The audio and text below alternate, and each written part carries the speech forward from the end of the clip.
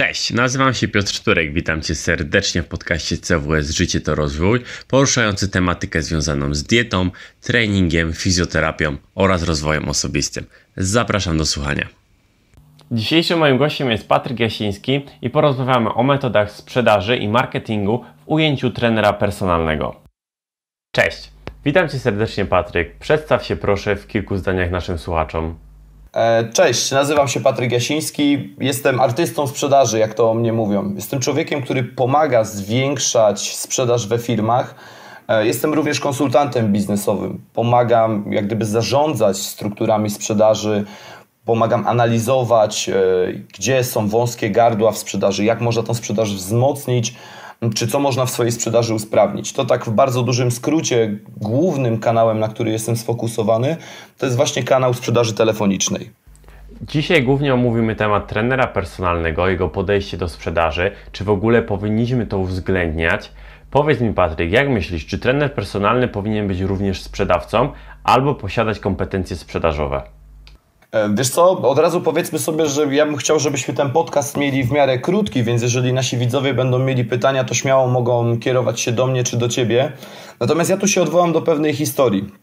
Jak wiesz, no też zdarza mi się chodzić na siłownię, co prawda e, nie jestem regularnym bywalcem ze względu na mój tryb życia, natomiast coś, co bardzo mocno mnie uderzyło.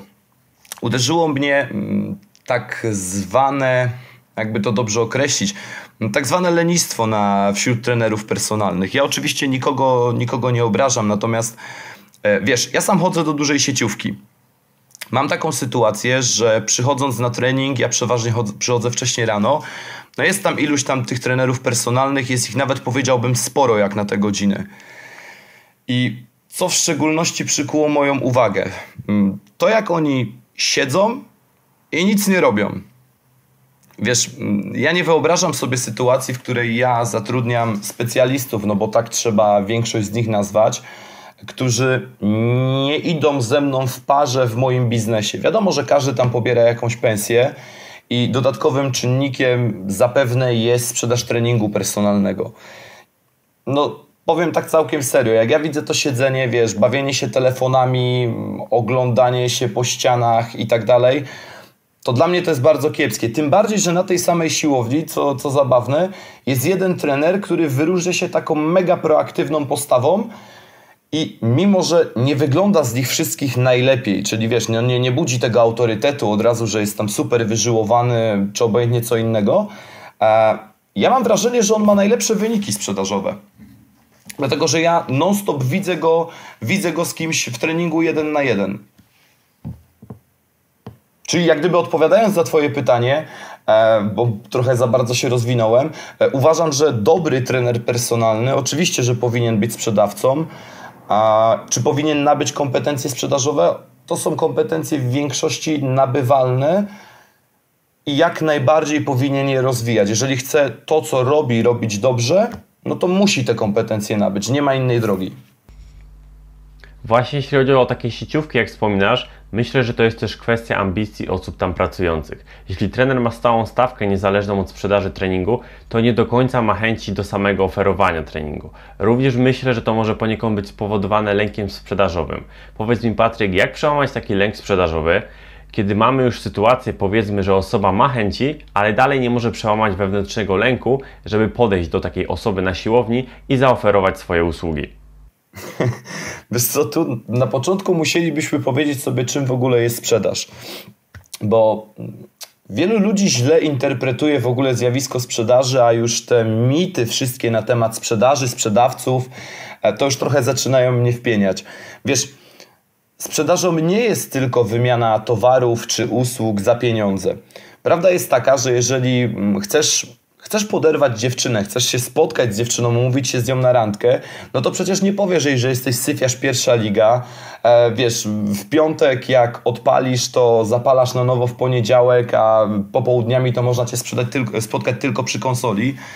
E, wiesz, sprzedaż jest rzeczą totalnie naturalną. Ja w zasadzie zawsze powtarzam, że człowiek uczy się sprzedawać, kiedy notabene uczy się mówić. No bo jak spojrzymy sobie na przykład, co robi małe dziecko, ja oczywiście pomijam płacz, kiedy rodzic nie chce mu dać dodatkowej porcji czegoś słodkiego, no to na dobrą sprawę ono już używa takich argumentów, że gdzieś po części sprzedaje. I ja zawsze powtarzam, że mm, kluczem do przełamania w sobie tego lęku sprzedażowego jest w ogóle istotą jest w ogóle zrozumienie, czym jest sprzedaż, bo ja często słyszę takie zdania typu ja nie chcę wciskać. No, zgodzę się, okej, okay. nikt z nas nie chce wciskać i nikt nie chce się czuć, no to wiesz, samo to słowo już budzi tak negatywne skojarzenia, że nie dziwię się, że ludzie y, takiego zdania używają, ja nie chcę wciskać. Natomiast w momencie, kiedy zrozumiemy, czym jest sprzedaż, że ze sprzedażą mamy do czynienia wszędzie, wtedy udaje nam się po części ten lęk przełamać, no bo jeżeli, wiesz, chcesz podejść w, w pubie do dziewczyny, no to też masz pewnego rodzaju lęk. Ona też może cię odrzucić. Drugim takim istotnym czynnikiem jest to, że trzeba właśnie umieć radzić sobie z odrzuceniem, bo człowiek jest odrzucany przez całe życie, wiesz, od małego jest, są odrzucane jakieś twoje pomysły, e, znajomi nie chcą wyjść tam, gdzie ty, dziewczyna nie chce pójść na randkę, czy nie chce tak udekorować chaty, jak trzeba, nie dostaniesz się do tej czy do tamtej pracy i już notabene przez całe życie odnosimy ileś porażek.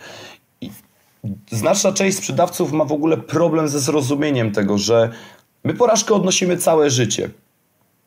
I w sprzedaży jest ten taki dodatkowy lęk, bo klient mnie odrzuci, bo co on powie, mm, bo źle mnie zrozumie, źle mnie zinterpretuje, ja zostanę źle odebrany. To, to jest nieprawda. Jeżeli rozumiemy cały ten proces sprzedaży i czym jest sprzedaż i dodatkowo zdajemy sobie sprawę z tego, że jesteśmy odrzucani notabene przez całe życie, wtedy ten lęk gdzieś sobie przełamujemy. Powiedz mi, czy są jakieś sposoby, aby wyrobić sobie nawyk radzenia z odrzuceniem? Spotkałem się z różnymi tego typu sposobami, na przykład targowanie się o kawę z kelnerką w kawiarni, oczywiście przed zakupem. Mamy wtedy praktycznie 100% pewności, że zostaniemy odrzuceni. Czy takie metody mogą zadziałać i czy osoba może sobie wyćwiczyć mechanizm obronny przed odrzuceniem tego typu metodami? Wiesz co, ja nie wiem, czy to jest cecha nabywalna, bo prawda jest taka, że jeżeli zrozumiesz ten proces, jeżeli zrozumiesz to, że jesteś naprawdę odrzucony całe życie, no wiesz, to zastanówmy się nad tym, kto z nas, ja znam osobiście, ale jedną taką parę, która jest ze sobą od małego i jest ze sobą na całe życie. Jeżeli spojrzysz na to przez pryzmat y, ludzi otaczających ciebie, no to przecież ludzie non-stop się rozstają, odrzucają się, tak jak mówię, znajomi gdzieś tam się nie godzą na jakiś twój pomysł, jeden, drugi, trzeci. I ja nie wiem, czy istnieje jakiś taki, taki sposób, E, znaczy, ja, jakieś usłyszałem taką fajną zasadę. Taki, takie fajne ćwiczenie, które zastosował mm, jeden człowiek zarządzający mm, firmą, która zajmuje się sprzedażą ubezpieczeń i produktów finansowych. On miał takiego sprzedawcę, który mm, cały czas twierdził, że klienci nie chcą od niego kupować, nie chcą kupować, nie chcą kupować i, i w ogóle nie chce nikt z nim gadać. I Mikołaj, no bo, bo tak miał na imię ten, ten człowiek, poprosił swojego, swojego współpracownika, żeby zadzwonił do 10 klientów z zadaniem, że ma im nie sprzedać. Ten do niego mówi, no jak, no jak mam nie sprzedać? No mówi, no normalnie, no zadzwoni i twoim głównym zadaniem jest, masz, że, że masz nie sprzedać. I co się okazało? Okazało się, że kiedy zmienił mu tą perspektywę, on na 10 rozmów w dwóch sprzedał. Gdzie wcześniej na 100 robił 2-3 umowy, to tu się okazało, że na 10 strzelił dwie. To jest tak samo jak Brian Tracy, to też możecie o tym poczytać, e, miał u siebie w biurze tak zwaną e, zasadę jest bingo bodajże, czy coś takiego, gdzie po dziesiątej odmowie klienta dostawałeś bon bodajże na 100 dolarów do knajpy. Ja już teraz dokładnie nie pamiętam, na czym to polegało. Ale to też było tak, że chodziło mu o to, że sprzedawcy w pewnej części dnia zaczynali mniej dzwonić, no bo już już ileś razy zostali odrzuceni i już nie chcieli tego dalej przeżywać. Wiesz, ta częstotliwość tych telefonów im spadła, więc Brian wymyślił wtedy, że po dziesiątym kliencie, który powie ci, mm, że nie, krzyczysz głośno na sali, jest bingo i odbierasz bon na, na stówkę do restauracji. Co sprawiło, że ci sprzedawcy przełamali w sobie ten lęk przed y, kolejnym dzwonieniem i przed kolejnym usłyszeniem nie od klientów. No tak, mi również wydaje się, że nastawienie bierze ogromny udział w naszych działaniach. Patryk, jak zacząć w takim razie rozmowę z takim potencjalnym klientem na siłowni, żeby nie być natarczywym? Powiedzmy, że spotykamy na siłowni osobę grubą, która źle wykonuje ćwiczenia. Czy powinniśmy poruszyć temat jego otyłości? Jakie powinny być nasze główne priorytety w tej rozmowie? Wiesz mówienie od razu jesteś gruby, choć ci pomogę, może skutkować tym, że ktoś dostanie liścia.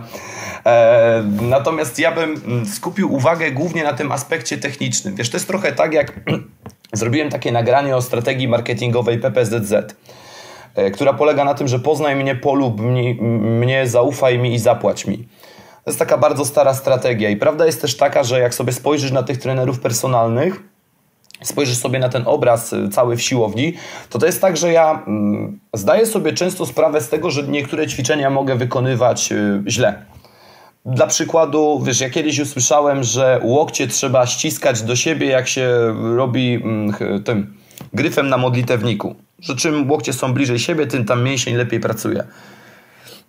I zdaję sobie sprawę, że wielokrotnie było tak, że ja jakieś ćwiczenie wykonuję źle, i nikt do mnie nie podszedł. Do mnie nigdy nikt nie podszedł. I co, co ciekawe, wiesz, najśmieszniejsze w tym wszystkim jest to, że ja jestem idealnym klientem dla takiego kogoś. No bo ja przychodzę na siłownię w miarę nieregularnie, więc wystarczyłoby, żeby ktoś mi poukładał tryb tego przychodzenia. Dwa, zmobilizował mnie do tego, że przychodzę. Trzy, stanął trochę przy mnie i powiedział, dobra stary, musisz robić to, to, to, albo taki mamy plan działań, no bo ja non stop wracam do tego samego, czyli mam dwa tygodnie, wiesz, obwodówki po siłowni, bo dawno nie ćwiczyłem, więc nie będę ćwiczył jednej partii mięśnia.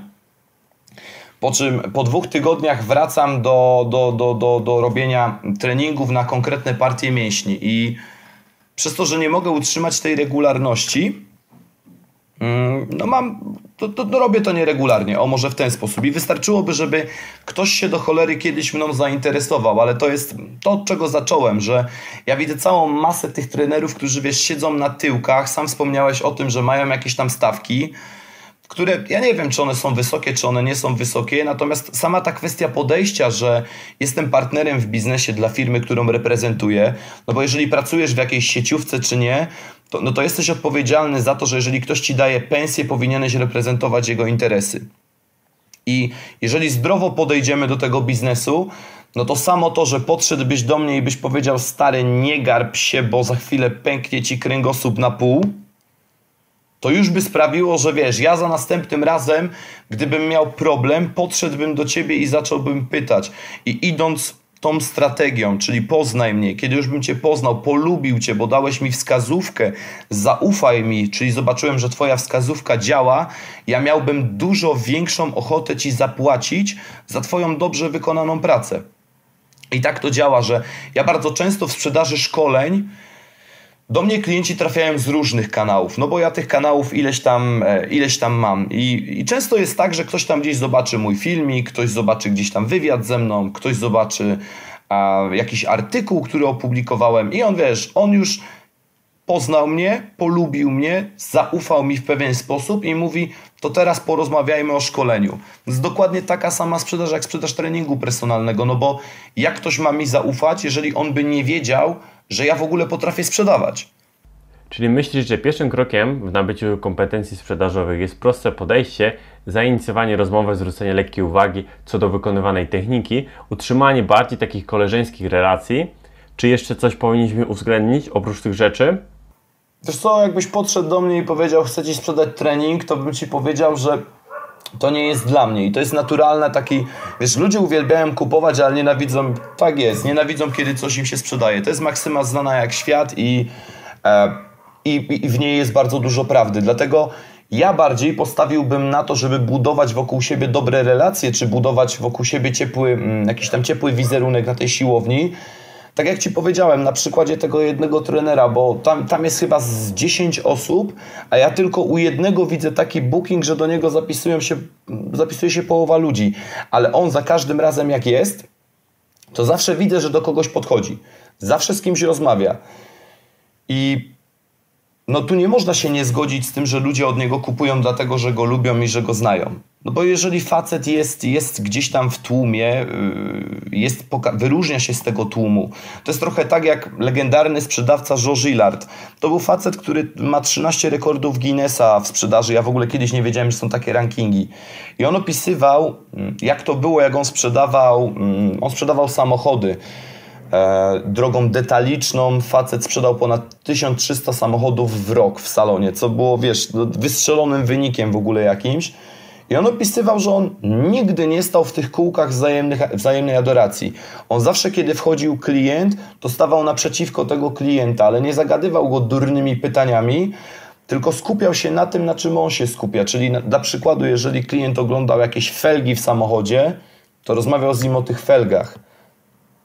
Nie rozmawiał o tym, że słuchaj, gościu, chcę ci sprzedać albo mam dla ciebie. Wiesz, to jest tak jak w sklepie odzieżowym. Wchodzisz do sklepu odzieżowego i słyszysz to dziwne pytanie, gdzie od razu masz reakcję obronną, w czym mogę panu pomóc? No ty kurczę, wszedłeś tam tylko na razie się rozejrzeć, a już ktoś chce ci wielce pomagać. Niech on poczeka, niech on zobaczy, że ty gdzieś skupiasz się na jakichś konkretnych ciuchach. Nie wiem, nie możesz znaleźć y, konkretnego rozmiaru, szukasz koloru, widzisz, że masz problem, przecież to da się wyczytać z człowieka, że wiesz, gdzieś ty się rozglądasz i wtedy niech będzie dla ciebie wsparciem. I moją wskazówką jest taka, moja wskazówka jest taka, że wystarczy, że niektórzy trenerzy ruszą za przeproszeniem tyłki z foteli i zamiast bawić się telefonami i wiesz, klikać na Instagramie serduszka, wyjdą do ludzi. To jest taka moja wskazówka. Omówiliśmy już właśnie bezpośrednią sprzedaż. E, czy oprócz tego są jakieś źródła sprzedażowe dla trenerów personalnych, które powinni uwzględnić? Skupienie się na działaniach w social mediowych, czy może dzwonienie do potencjalnych klientów? Jak uważasz? Wiesz co? Trzeba sobie od razu powiedzieć, czym jest ciepły, a czym jest zimny lead. Ja może od tego zacznę. Lead to jest w ogóle potencjalny klient. On niekoniecznie to jest klient w 100% sprzedażowy, tylko to jest potencjalny klient, który mógłby zakupić swój produkt lub usługę. I lidy zimne to są ludzie, którzy nie wiedzą o tobie nic, lidy ciepłe to są ludzie, którzy już gdzieś się z tobą zetknęli. I teraz, jeśli mam być szczery, nie wiem, czy w, w przypadku sprzedaży treningów personalnych taka stricte sprzedaż na zimno będzie skuteczna. Dlatego, że wiesz, tu cię nikt nie poznał. Trenerów personalnych wiemy obaj, że no, jest jak mrówek w tym momencie. Ilu z nich jest dobrych? No, sam wiesz najlepiej, jak to się przenosi, przekłada na sprzedaż czy na jakość. Sam wiesz przez, przez Wasze konferencje, które prowadzicie, szkolenia, jak to, jak to mniej więcej wygląda. E, ostatnio się branża popsuła pod względem jakości. No, każda branża się zepsuła. No, wiesz jak to jest. To jest trochę tak jak z lodami tradycyjnymi. E, wystrzeliły jedne lody tradycyjne, a teraz w każdym mieście masz na każdej ulicy lody tradycyjne, lody naturalne i tak dalej, i tak dalej. Więc na jakich kanałach powinien się skupić? Ja może na to pytanie odpowiem trochę inaczej. Ja uważam, że nie powinien się ograniczać. Dlatego, że mm, z każdego miejsca może trafić do ciebie klient i ty no, no, notabene nie wiesz skąd. Czy to będzie, czy to będą właśnie twoje social media, które każdy moim zdaniem trener personalny powinien prowadzić regularnie. Zresztą każdy człowiek zajmujący się biznesem uważam, że w XXI wieku powinien skupić się na social mediach dwa, jeśli chodzi o jakieś e, nagrania, e, no to strategia znowu PPZZ, wracamy do tego, że jeżeli wiesz, wrzucisz filmik na YouTube, którym ktoś się zainspiruje i powie sobie, kurczę, ten facet ma rację i dasz mu wartość, to on bardzo chętnie do, cie, do ciebie wróci. I jeżeli on będzie miał problem, no to do kogo on się zgłosi, jak nie do kogoś, kto dał już mu wartościową wiedzę. No bo ty jesteś w tym momencie dla niego pewnego rodzaju autorytetem. Więc ja skupiłbym się raczej na pozyskiwaniu klientów przez właśnie social media. Natomiast jest też takie przysłowie marketingowe, które ja bardzo lubię. E, zresztą za tydzień będzie premiera filmiku na, na YouTubie o tym właśnie, czyli wyróżnij się albo giń. I tutaj nawiążę do tej akcji z panią Kingsley Wolański, ostatnio bardzo głośną, że wiesz, no stary, no nikt się nie spodziewał, że w pewnym momencie w finale Ligi Mistrzów wbiegnie laska z gołym tyłkiem na stadion. A jak to się przełożyło na, na sprzedaż? Nie wiem, czy tam, czy, czy trochę się z tym zapoznawałeś już, czy nie. Wiesz ale... co, widziałem ile zasięgów udało się ugrać, bodajże trzykrotnie większą liczbę followersów. E, to jest masakryczny w ogóle skok. Nie, nie, 2,2 miliona miała w pewnym momencie, nie? Nie wiem, to wiesz, ja tego tak aż tak mocno nie śledzę, ale e, no to było niesamowite, ale dlaczego? No, no tak, ale tak całkiem serio, no. E, gdybym ci przed meczem powiedział, że Słuchaj, masz kurs 1 do 10 tysięcy, ale musisz minimum postawić 1000 złotych, że wbiegnie laska z gołym tyłkiem na, na, na, finale, no to byś mi powiedział, że jestem chory. No, ja bym dokładnie powiedział to samo tobie.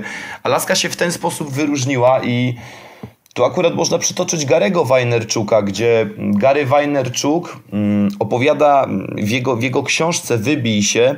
On tam bardzo ciekawą rzecz opisuje. On opisuje to, że jeżeli wchodzą nowe jakiekolwiek kanały, czy to wiesz, tak jak teraz jest ten TikTok na przykład, i ostatnio brałem udział w dyskusji o tym TikToku, że no, ja jeszcze tego nie kupuję osobiście, ale Gary, Gary Vaynerchuk powiedział taką rzecz, że jeżeli pojawia się nowy kanał, to on od razu, od razu w niego wchodzi.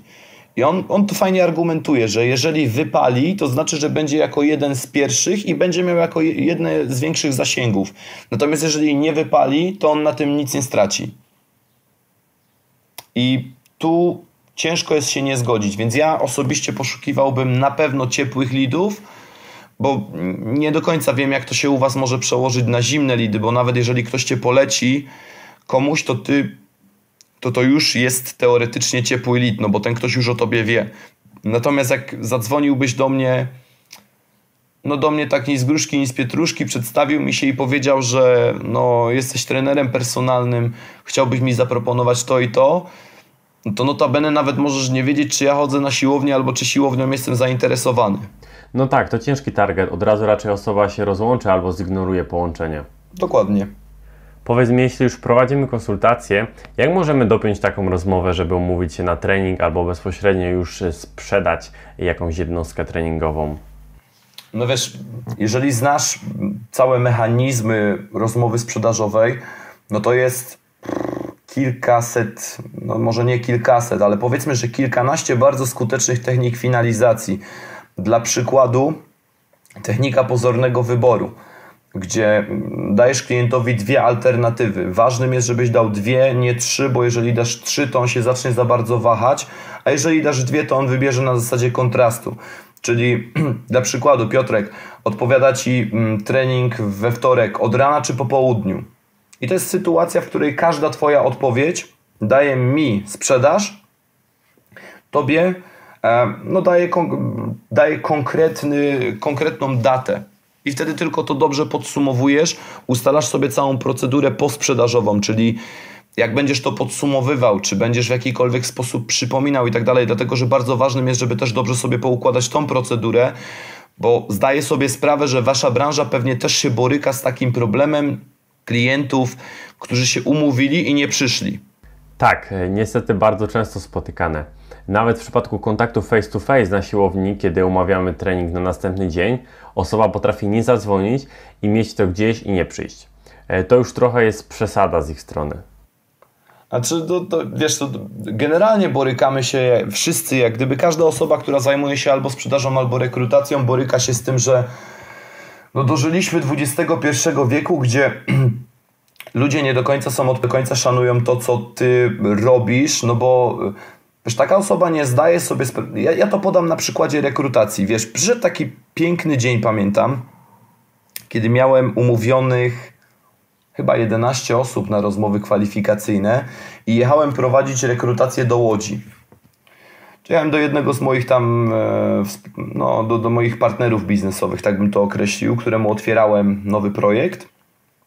I ja zajechałem do Łodzi i z 11 umówionych osób przyszły mi dwie.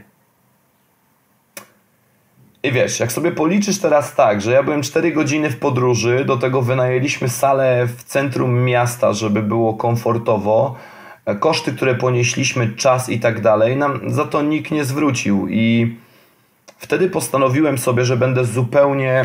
Wtedy taka, wyciągnąłem taką refleksję, że być może ja to robię źle. Być może źle tych ludzi umawiam a być może coś ze mną jest nie tak i tak dalej. I pamiętam, że cały dzień przesiedziałem nad tym, żeby ułożyć taki bardzo skuteczny, mm, skuteczny skrypt rekrutacyjny i mm, tą procedurę po. I mogę, mogę Ci się pochwalić, ja wiem, że pewnie teraz część osób, które będzie nas słuchać, stwierdzi, że jestem nienormalny. Natomiast y, no ja mam skuteczność przychodzenia na rozmowy kwalifikacyjne prawie 100%. Wczoraj dla przykładu mówiłem, przyszły wszystkie trzy. Na ostatniej rekrutacji z ośmiu, które umówiłem, było osiem. Wcześniej mieliśmy umówionych siedem, przyszło sześć. Natomiast ta jedna, która nie przyszła, poinformowała nas wcześniej, dlatego że bardzo mocno oparłem to na, na regułach wywierania wpływu.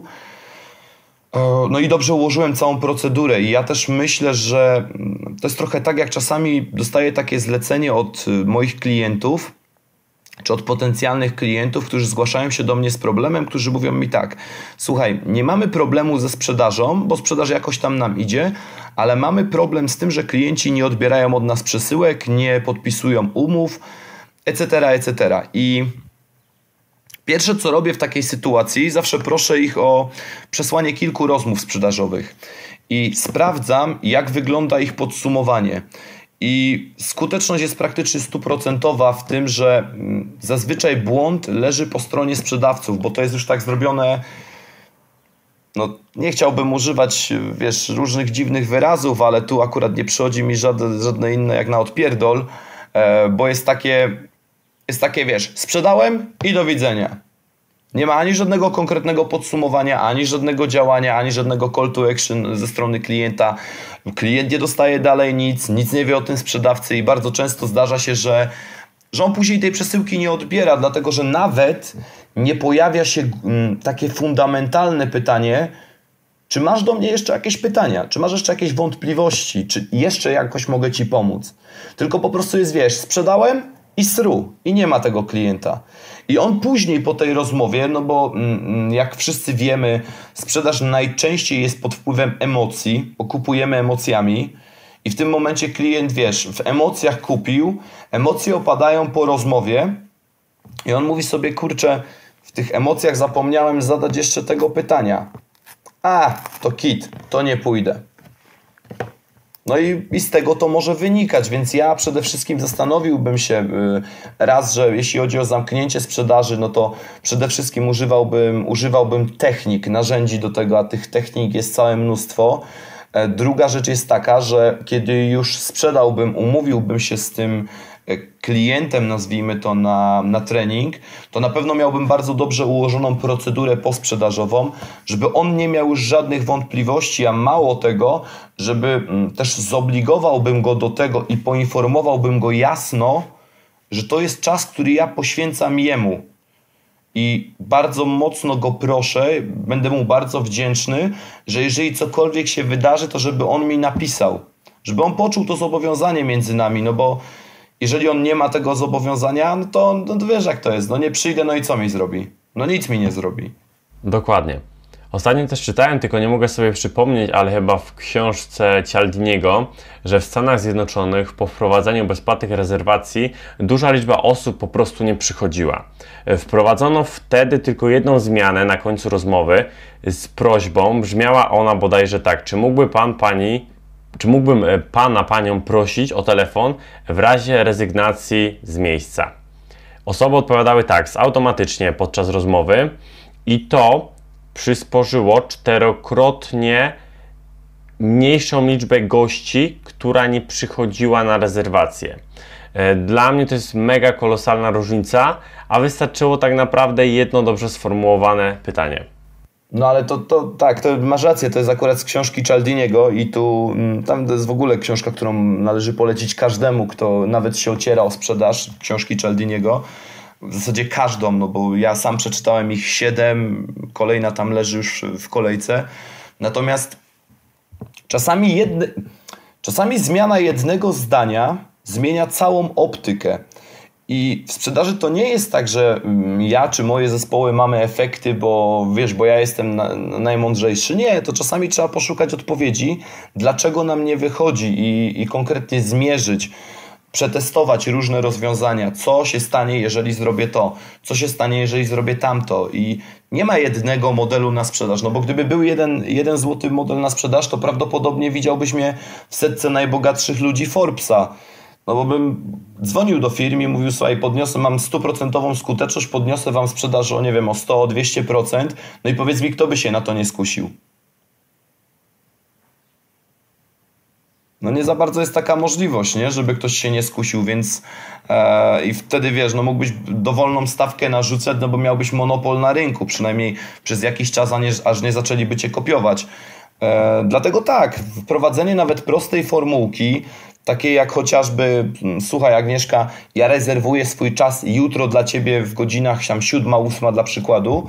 I bardzo Cię proszę, że jeżeli cokolwiek Ci się wydarzy, ja akurat tego zdania używam na koniec e, rozmowy rekrutacyjnej, że bardzo proszę Panie, Panie Piotrze, że jeżeli cokolwiek u Pana się wydarzy, to proszę o informację, ponieważ ja ten czas rezerwuję specjalnie dla Pana to wpływa, że ty czujesz się ważny. Dwa, że wiesz, zarezerwowałem czas specjalnie dla ciebie. No i trzy, czujesz się w pewien sposób zobowiązany w stosunku do mnie. Co w przypadku, kiedy klient odwleka spotkanie, przesuwa trening, konsultacje z tygodnia na tydzień? Czy możemy to w jakiś sposób zniwelować? Mm, no, pytanie, wiesz, pytanie, jak ktoś zamyka tą sprzedaż czy tą konsultację, no bo jeżeli, słuchaj, ja mam w swoim zespole dwie dziewczyny, które notabene są od ciebie z branży. One pracowały w dużej sieciówce, y, no nie, nie wymienię nazwy. Natomiast jak one do mnie przyszły do zespołu i ja zobaczyłem ich umiejętności sprzedażowe, one akurat sprzedawały e, też takie tam konsultacje, te wiesz, pierwsze próbne treningi e, z trenerem personalnym. Jak one do mnie przyszły, jak ja zobaczyłem w jaki sposób one rozmawiają, to ja się trochę za głowę złapałem. Dlatego, że no powiedzmy, że nie miały umiejętności, one miały bardzo duży entuzjazm i, i, i, były bardzo zaangażowane. Tu oczywiście pozdrawiam i, i Małgorzatę i, i Magdalenę. Natomiast one były bardzo mocno zaangażowane, natomiast umiejętności nie miały żadnych. I to też trzeba sobie powiedzieć od razu, kto jest Twoim klientem, a kto nie jest. No bo to jest trochę tak, jak chciałbyś się z dziewczyną umówić na randkę, która też by wiecznie mówiła, a nie, czy nawet ze znajomym na piwo już przysłowiowe, który wiecznie ci mówi, wiesz, nie dziś, nie jutro i tak dalej, i tak dalej. Zawsze to, czy ty znajdziesz czas, zależy od tego, czy dana rzecz, dana, e, dana osoba ma w twoim życiu jakikolwiek priorytet. No bo my sobie priorytetujemy zadania. Więc jeżeli on nie czuje, że jest to dla niego w jakikolwiek sposób potrzebne czy ważne, to on ci będzie odwlekał w nieskończoność, ale to też może się okazać, że to jest źle stargetowany klient, bo to, wiesz, no nikt ci się nie przyzna, że nie wiem, nie przyjdę do ciebie na trening, bo, bo mnie nie stać, E, bo nie chcę przyjść, bo nie chcę przyjść na Twój trening, bo rozmawiam z trzema innymi, innymi trenerami, bo chciałbym, nie wiem, jestem chłopakiem, to wolałbym iść na trening do dziewczyny, albo na odwrót, jestem dziewczyną, to chciałabym iść na trening do chłopaka. No, wiesz, tych motywów może być miliard, natomiast trzeba sobie też powiedzieć, że taka osoba, która odwleka Cię w nieskończoność, to czasami A, może nie być Twoim klientem, a B, ona może być źle zamykana. Patryk, jakie trzy książki mógłbyś polecić naszym słuchaczom? Wiesz co, bardzo ciężko jest podać trzy książki, bo mm, książek jest całe multum, jak, jak wiemy, to jest trochę tak jak z muzyką. Tych płyt jest całe, całe mnóstwo. Ja zawsze powtarzam, że każdy powinien książki dopasowywać pod siebie. Natomiast jeżeli ja miałbym teraz podać Ci trzy tytuły, to zacząłbym na pewno mm, od Mistrza Sprzedaży Arka Bednarskiego to jest taka książka, którą ja bardzo polecam, zresztą ona ma kontynuację, czyli masz arcymistrza sprzedaży, później jest Biblia sprzedaży i to sobie można swobodnie przechodzić. Notabene, no Arek jest też moim przyjacielem, więc wiem, że teraz pisze już czwarte wydanie. To jest książka, która sprzedała się w tylu egzemplarzach, że teraz już wychodzi jej czwarte wydanie. Mm, drugą książką, którą bym Ci polecił, to jest Sprzedawaj jak Challenger. To jest książka o nowym modelu sprzedaży, czyli jak sprzedaje się teraz na rynku, jak ten rynek się zmienił, jak rynek ewoluował i tu jest bardzo mocno bardzo mocny nacisk na to, co ja mówię od lat, czyli że mm, możesz sobie najlepiej badać, badać jakieś tam potrzeby klienta i możesz to robić w sposób totalnie zły. Tutaj akurat pokazują podejście lekko prowokacyjne i uświadamianie klientowi jego potrzeb na zasadzie prowokacji. Pokazują badania, mm, zresztą cała książka jest oparta na badaniach i teraz tak jak każdy może te badania sprzedażowe podważyć ja zazwyczaj też to robię, to też bym to zrobił w przypadku tej książki, natomiast to było przebadane, to jest jedna jedyna książka, która jest bardzo wymierna, dlatego że tu było przebadane ponad 9 tysięcy sprzedawców, w, bodajże w ponad 90 firmach w 44 krajach, także są przetestowane różne warunki rynkowe, mm, różne sytuacje zdarzające się na rynku. I trzecią książką, którą bym polecił, to jest książka, sam wspomniałeś, Cialdiniego Wywieranie wpływu na ludzi. Ja sobie nie wyobrażam, że ktoś, kto zajmuje się sprzedażą, nie przeczytał nigdy tej książki. Ja tą polecam, żeby od niej zacząć, bo później całą masę masz rozwinięć tej książki. Jest, świat na tak, 50 tam skutecznych trików i tak dalej, i tak dalej. Jest cała masa książek Cialdiniego, natomiast jeżeli ją czytasz lub czytałeś, no to sam możesz powiedzieć, zasady typu zasada słuszności społecznej, gdzie wiesz, oglądasz sobie reklamę czy reguła autorytetu, no to działa. To działa, działało na nas i będzie działać przez najbliższych jeszcze podejrzewam. Znaczy, ja podejrzewam, że jak ludzkość istnieje, to te reguły będą na nas działać. Co prawda mam takie lekkie odczucie, że już reguła wzajemności ona już w tych młodych pokoleniach działa coraz mniej. Takie mam wrażenie, że młodzi ludzie już nie czują takiego poczucia zobowiązania jak my. Ale to jest taka moja obserwacja. Także jak miałbym podać trzy, to podałbym pewnie te. Yy, I to, to z dziedziny sprzedaży. Natomiast z dziedziny rozwoju osobistego to ja polecam każdemu, żeby szedł z nurtem, z którym jest zgodny i nie brał książek, które go w ogóle nie interesują, bo książek o rozwoju osobistym jest teraz kurczę tyle, że jak wchodzisz do księgarni, masz 16 regałów i nie wiesz, co masz ruszyć. I wiesz, masz o wszystkim, o sposobie motywowania się, wyznaczania sobie celu, wiesz, o bogactwie, o Jezus Maria, to jest cały zalew tego.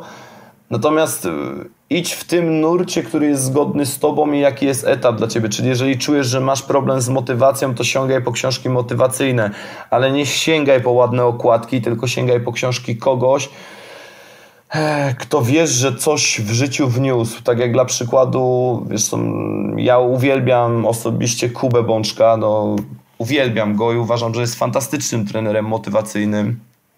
Jest człowiekiem, który robi niesamowitą robotę i miałem przyjemność czytać jego dwie książki. Dla mnie są kapitalne. No ale to tam nie będę mu robił też kryptoreklamy, mogę go tylko pozdrowić. Mm, natomiast skupmy się może na tej sprzedażowym aspekcie, to te trzy. Zacząłbym od mistrza sprzedaży, później wziąłbym sprzedawaj jak challenger, a na końcu wziąłbym reguły wywierania wpływu i mm, każda z tych książek, może poza sprzedawaj jak challenger, ma kontynuacje dalsze, no i jeżeli to byłoby w zgodzie ze mną, to czytałbym dalej kontynuację. Dzięki Patryk za wyczerpujące odpowiedzi. Mam nadzieję, że słuchacze wyciągną z tego materiału jak najwięcej informacji. Powiedz jeszcze naszym odbiorcom, gdzie możemy Cię znaleźć w internecie? Chyba tylko w lodówce nie mogą mnie znaleźć. E, natomiast wiesz, ja na, na, stałe współpracuję z firmą McHazen Stewart Group. No, jedna z, jeden z pionierów w Polsce, jeśli chodzi, jesteśmy jednym z pionierów, jeśli chodzi o szkolenia mm, sprzedażowe, więc przede wszystkim Jeśli chodzi już o zakres szkoleniowy i ktoś chciałby mnie ściągnąć do firmy, to zapraszam do nas e, do MacHase'a, czyli haze.com.pl. Mm, jeżeli ktoś chce skorzystać z darmowej wiedzy, którą jak wiesz gdzieś tam się dzielę, może bez problemu wejść na mój kanał na YouTube, As Patryk Jasiński, na kanał na Facebooku, na Instagramie dokładnie ten sam, As Patryk Jasiński. E, jak i również na LinkedInie, no to już akurat tylko sygnowane swoim imieniem i nazwiskiem, Patryk Jasiński. Wszędzie staram się zamieszczać treści, w różny sposób je mieszać. Też zainspirowałeś mnie do tego, że pewnie pojawi się na dniach jakiś post albo nagranie dotyczące trenerów personalnych, e, więc pewnie też tam ktoś znajdzie coś dla siebie. Mm, no i co, no jeżeli macie jakieś pytania, to, to uderzajcie śmiało, czy to, czy to do mnie, czy to do Piotrka. E, bardzo chętnie wam, wam coś podpowiemy. Oczywiście też pod filmem i podcastem znajdziecie książki polecone przez Patryka, a także odnośniki do jego social mediów. Dzięki jeszcze raz wielkie Patryk. Dzięki również i tak jak już wspomniałem, polecam każdemu trenerowi ruszyć tyłek z fotela, a wtedy będziecie mieli najwięcej klientów, jeżeli będziecie wśród ludzi. Taka myśl na koniec.